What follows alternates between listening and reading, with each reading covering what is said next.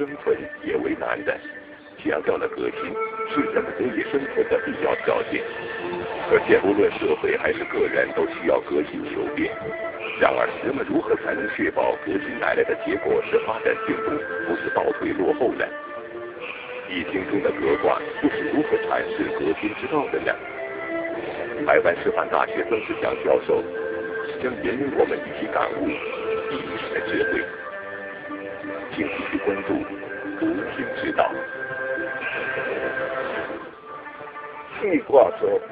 井道不可不得，为什么呢？因为那个井呢，大家常常去用它，那用的人大部分都是很守规矩的，可是难免有些人呢，他就有意无意的乱丢东西。就算每个人都规规矩矩，不断丢东西，它里面呢，久而久之，它也会一些变动，一段时间。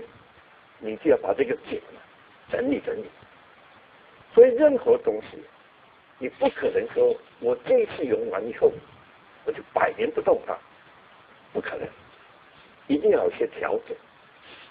因此，它后面是受之以格。这个格卦的意思就是说，当你东西用久了，当你事情演变越来越差的时候，那你就要革新。革。它是要太旧换新的，把旧的、旧的什么、旧的不好的部分把它去掉，而不是说凡是旧的都应该去掉。我想这差得很远。新的可以取代旧的，但是新的一定要保证比旧的更好，这样才符合格的要求。其实就我们个人来讲。你去换，换的好，换的坏，其实没有太大的伤害。你看这件衣服不好看，我换一件；鞋子穿破了，换一个新的；房子老旧了，不够用了，搬家，这些也都是格。那错了怎么办？错了有什么了解吗？就是损失一些物资，损失一些金钱。浪费一些时间，还有心里头比较不愉快，不可以的。但是，如果国家的政治，他要革的话，那就不一样了，那就是听起来都叫人害怕的，就叫做革命，那是关乎国脉民命，我们把它叫做非常之举。听清楚，个人。只不过各金钱的命，政治它可是要各老百姓的命，其实也不完全是老百姓，政府官员的命照格不误。所以古人有一句话叫做“立不摆，不变法”，这样各位才知道为什么我们历代的变法差不多都是失败的，就是因为他会把德观搞清楚。井水需要不断清理才能保持清洁，社会也同样需要不断改革才能进步。然而，纵观历史，并不是所有的改革都能受到人民的信任和响应，这是为什么呢？难道人们不希望社会进步吗？究竟什么样的改革才能赢得民心呢？革卦它的卦辞是这么写的：“次日乃服，元亨利贞，鬼王。”次日，你可以把它解释说，可以改革的时机到了，也就是我们现在常讲的时机成熟，人性思变，大家都非常欢迎的时候，你来革命，乃服就可以获得人民的响应跟信仰。但是这种说法是太天真了。你看历史上，大概很难出现这样的状况。老讲革命呢，他一定要先破坏，然后才建设。你没有看到建设的成果，谁会轻易的相信你？他只看见你破坏，而且使他的既得利益受到很大的损伤，他怎么会支持你？啊，怎么会响应？所以我们有很多人呢，很信这种保守派，你是保王党，你不求新求变，你阻碍革命。其实，我们将心比心，如果你是既得利益者，如果你在旧社会，你有很大的权势，你享受了很多特权，你会觉得革命是好的。所以真正的意思应该是说，革命这种事情，只有当你快要成功或者已经成功，大家已经看到你成果不错了，然后才会慢慢的相信你，这个是比较实际的说法。因此，这个缘和力争啊，变成一个必要的条件，就是你的成果慢慢获得大家的认定，你能够给我们。在破坏之后，带来大通大利大正，那我们就永不宁。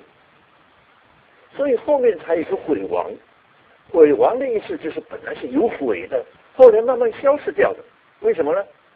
因为一乱，他就觉得你看又来了，又来了，他有点悔恨，你们这些人干什么呢？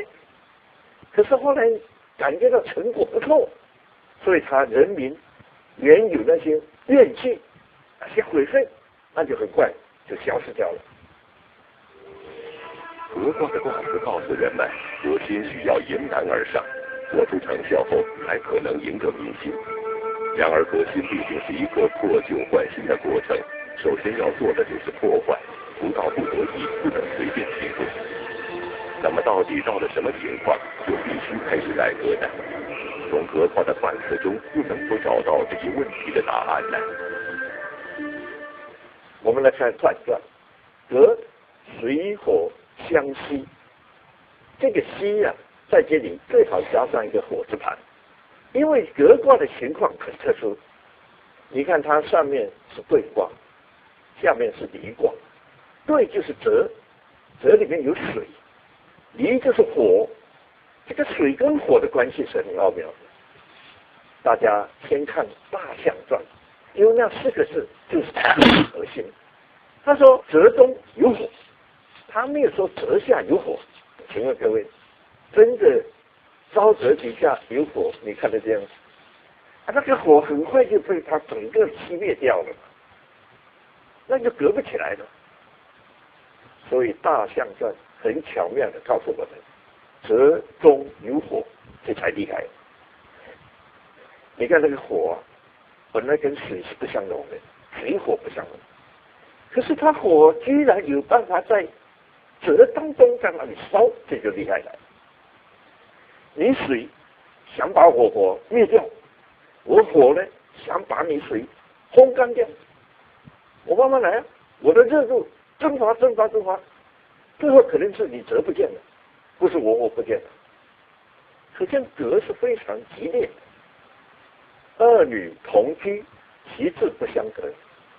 我们看整个的格卦，上卦是对，它有两个阳，一个阴，所以它是阴卦，代表女性。下卦是离，也是阴卦。两个女性同居在一个屋子里面，这不就姐妹吗？但是。这个姐妹啊，她是没有什么亲情，老是我看你不顺眼，你看我不顺眼，那这个叫做完全没有共识，其志不相得，那怎么办呢？你死我活，非帮你斗法不可，就叫格。格的意思就是说，我要消除我的怨恨，那我怨恨的对象就是你了。所以我要消除我的怨恨，我就把你干掉了。我想这样讲，大家都很清楚。为什么斗争那么激烈？它是有原因的。四日乃服，为什么说四日乃服呢？得而信也。我这次革命，我是大公无私的，我是真正为老百姓的，我是为未来共同的幸福的。没有我私人的意图在里面，可这种事情呢，你没有真正用成果表现出来，大家都是将信将疑。一定要等到你革命成功了，成果展现了，大家才知道哦，原来是真的。所以我们有一句话已经把这个说得很清楚：成者为王，败者为寇。其他不要讲。文明以愿，文明就是离火。它下卦是离，就是火，就代表光明，也就是人类的文明。以愿，愿是什么？愿就是对，对卦的对，加上个心旁，就是喜悦了。意思就是说，你是开创一个新的文明，但是你一定要让老百姓能够心生喜悦。所以接着就说大声以正，得而战，其会乃亡。革命非常有正当性，让人家感觉到你做对了，鬼会才慢慢的消失，慢慢的就开始接受。天地革而事实成。你看天地不搞革命呢？天地当然要搞革命。你看夏天是不是把春天革命掉？秋天就是把夏暑革命掉。冬天出来，秋天就不见。所以你看到这个事实的运行，对人类是有好处。我们长期的住在这个冷气房里面，身体就是不健康，因为它里面恒温嘛，它没有什么事实变化。你如果打开窗户，你生活在大自然的空气当中，它早晚就改变，它早晚就改变。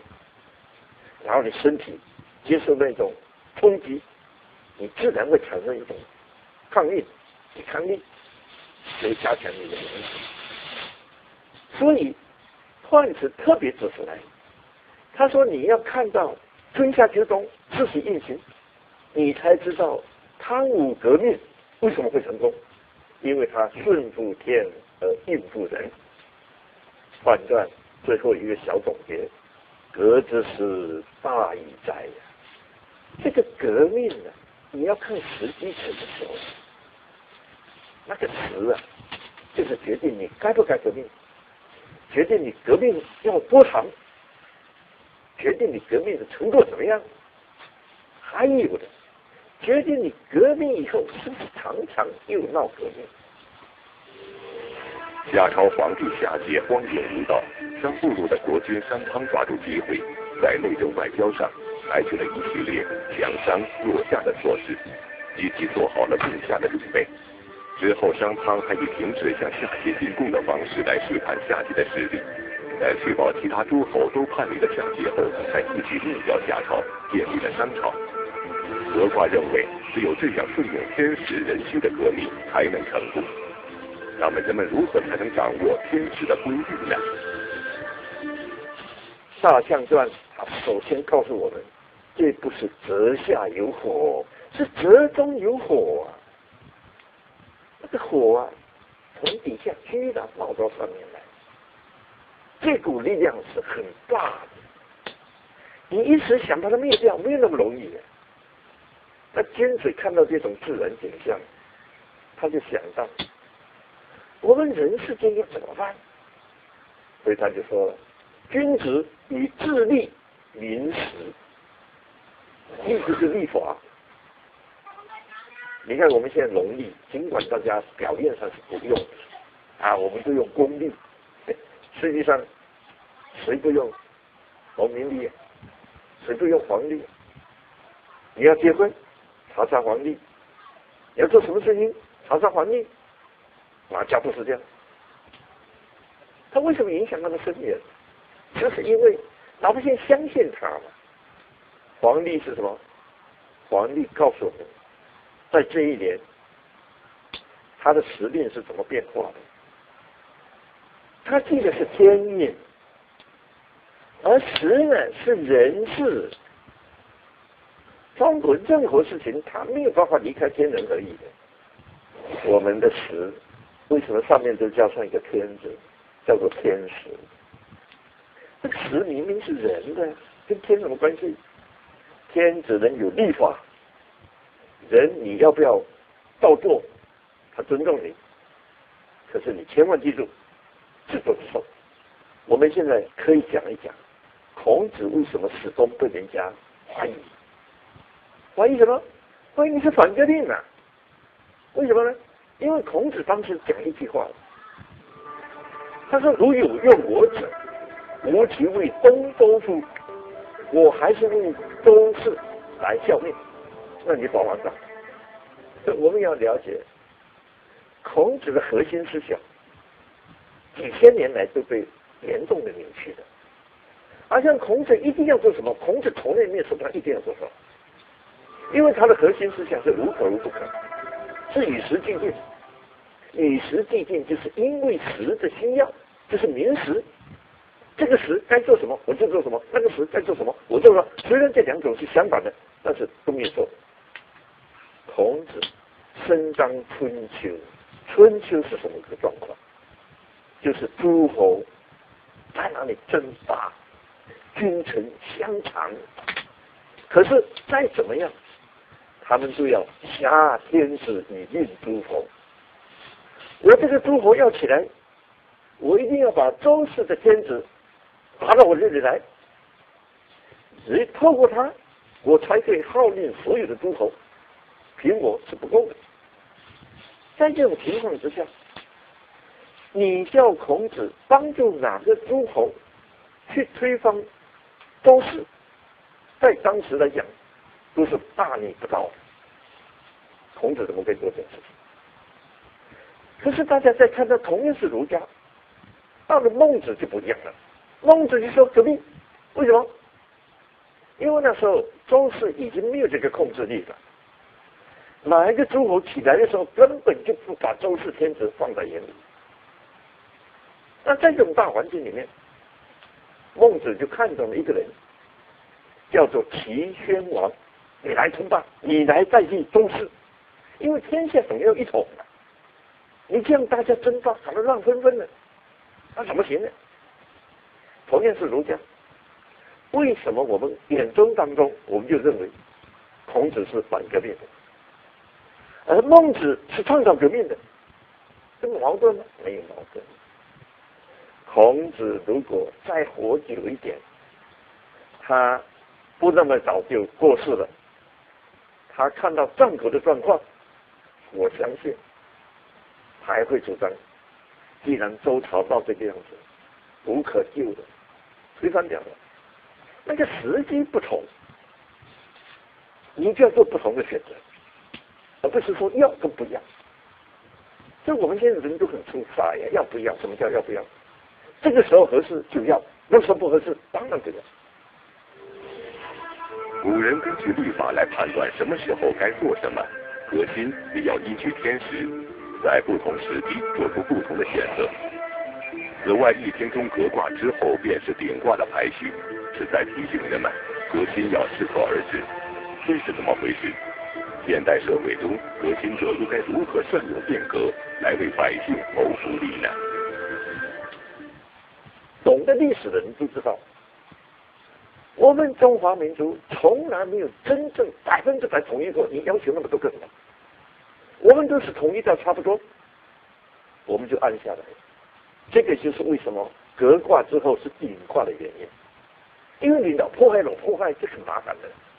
你破坏的差不多了。赶快要建设，建设就是顶了。那为什么我们老讲差不多差不多，就叫适可而止？差不多就是适可而止，得也是要适可而止。然后接下来就要走上顶卦。秦始皇把六国灭掉，一统天下，当然是好事。可是他又制造了一个后患无穷的。你看，我们从秦朝以后。我们就是快速的，当然其实很漫长的，慢慢来。但对我们整个看起来好像是快速的，叫什么改朝换代。所以为什么革它很重要？就是说你要看到后面的问题是怎么样，而不是看当时而已。秦呢，它是中央集权的，全部是国家的，你们都没分，那全部是你家，那别人自然不服啊。就把你家拉下来了，这就改朝换代，改朝换代。所以中山先生才说这样不行，老是改朝换代，那我要搞到什么时候？所以就下决心把皇帝老子拉下来，改朝换代，太过频繁，受苦的是谁？老百姓。水火是不相容的，可是老百姓呢，他偏偏就活在水深火热之中。可是我们对这个水火，还是不够透彻的，还是不会善用的。所以不要小看说隔卦，革或革，它就是虚不言，它就是太极换新，啊，那他就是什么样呢？这种都叫做独此思。你真正要去了解，每一次革到底替人类带来多少好处？可是人能不革吗？不行，那怎么行？人做错了就要改变，改变也是革。所以革有大小，小事你反正比较容易看得到它的结果怎么样，你就比较放心去做。所以老百姓他只能做小小的改变，你要靠他做大的改变，那是不可能的。你看政府有些政策，老百姓一直反对，一直骂，为什么？你看不懂嘛？你要等到十年、二十年才觉得，哎呀，当初这样真好啊！政府看十年、二十年以后，老百姓看明天了。你现在增加税收，我就讲干过明天了。你现在随便涨价，我就骂你了。那人家怎么做事？尤其现在更要的说什么？说你要透明化，我们讲什么叫透明化。你跟老百姓讲，现在的涨价是因为我们收入多了，那它物价会一段时间一段时间的去涨，这是自然的。他会相信吗？没人相信嘛，估计政府无人才会这样子。我们薪水面涨那么多，物价涨那么高，是不是这样？那怎么办？那我们就想到有一句话：，说当家三年了，狗也嫌。你这个家里面养了一条狗，只要你当家三年，连狗看着你都不顺眼，你养当什么家？我连吃都吃不到。这些都是从德国带来的很好的这个启发，但是无论如何，我们不能放弃，该革还想革，那我们就要顺天应人。所以接下来我们要从六个爻去看看，如何才能够顺天应人。在中国历史上所进行的无数次革新与变法事件中，有获得成功，最终促进社会发展的，同时也有半途而废，甚至在萌芽时期就早早夭折的。那么，如何才能避免改革昙花一现呢？